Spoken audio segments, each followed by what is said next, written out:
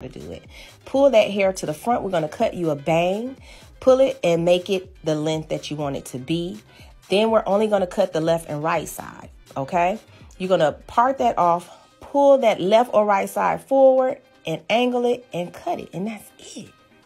It's super easy. Then you're going to pull it up in the ponytail, pulling some of that hair that you cut for the bang, and you're just going to cut everything else to that short piece, which is your guide. This is super duper easy. Anybody can do this. This is the easiest layer technique you can do is pulling it in a ponytail and cutting it.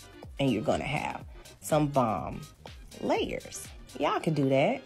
Let me know if y'all try this.